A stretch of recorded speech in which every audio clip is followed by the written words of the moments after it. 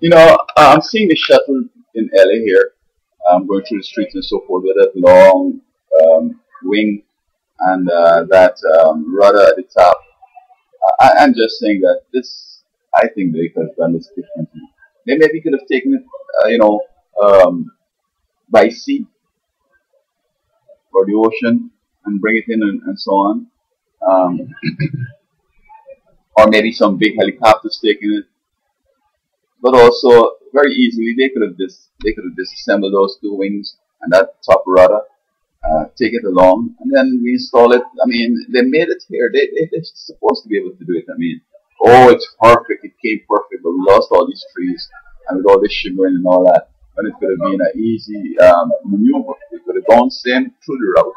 But with these parts, um, it's still on the, the trip, but it's kind of like, you know, sort of a, um, brought in together, and the rudder is, you know, placed on some pedestal behind. So we see all the parts are there, but we just disassembled it so as to get it through town.